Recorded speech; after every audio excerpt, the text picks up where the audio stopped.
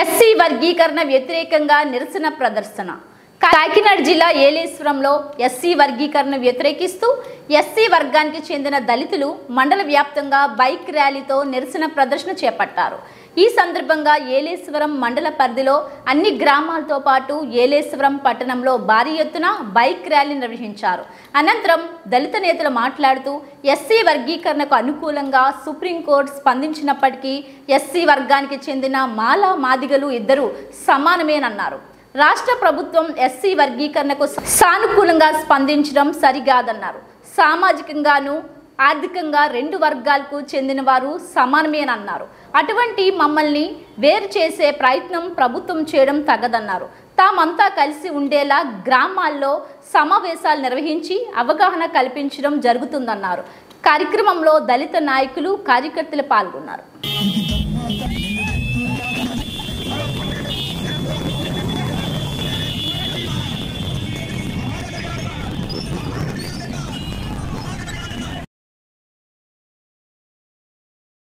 SC వర్గీకరణ ఆయా రాష్ట్రాలు అమలు చేసుకోవచ్చని ఆగస్టు ఒకటో తారీఖున మన భారతదేశ అత్యున్నత న్యాయస్థానం తీర్పునివ్వడం జరిగింది.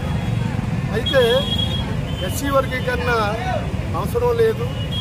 ఎస్సీ వర్గీకరణ అనేది కోర్టు తీర్పు చెప్పజాలము అది చట్టం భారత పార్లమెంట్లో జరగాలనేటటువంటి వాదన కూడా ఉంది.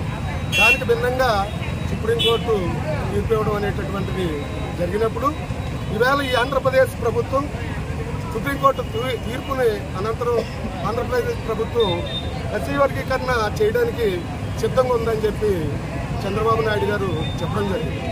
అయితే ఈ నేపథ్యంలో ఈ రాష్ట్రంలో మాలలు మాదిగలు అనేటటువంటి ప్రధాన కులాలు అయినటువంటి ఎస్సీ వర్గంలో మాలలేమీ అభివృద్ధి చెందలేదని అలాగే మాదిగులు మాలల కంటే వెనుకబడ్డారనేటటువంటి వాదన సరికాదని మేము రాష్ట్ర వ్యాప్తంగా పిలుపు నిరసన కార్యక్రమాలు చేయడం జరిగింది. అందులో భాగంగా ఐలేశ్వరం మండలంలో ఎస్సీ మాలలను అందరినీ ఏకం చేసి అనేక అంటే బంధు కార్యక్రమాలు సమా సభలు సమావేశాలు నిర్వహించాము.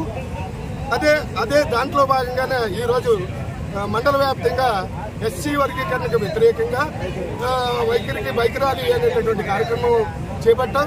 కాబట్టి రాష్ట్ర ప్రభుత్వానికి మానవ తరపున మా ఒకటే విన్నపం ఎస్సీ వర్గీకరణ చేయకూడదనేటటువంటిది మా మానవ తరపున విజ్ఞప్తి చేస్తుంది.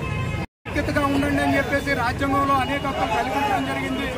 దీనన్నింటినీ కూడా రాష్ట్ర ప్రభుత్వం కేంద్ర ప్రభుత్వం కూడా విభజించి పాలించాలనే సిద్ధాంతాన్ని తీసుకొస్తుంది ఇది అన్నటికీ జరిగే విషయం కాదు. మరొకసారి ఆలోచించాలి. ఇటువంటి పరిణామం కానీ ఉపసంహరించుకోకపోతే రాష్ట్ర వ్యాప్తంగా దేశవ్యాప్తంగా కూడా ఉద్యమాన్ని ఉధృతం చేస్తామని చెప్పేసి ఈ మీడియా ద్వారా రాష్ట్ర ప్రభుత్వానికి కేంద్ర ప్రభుత్వానికి తెలియజేస్తున్నాం.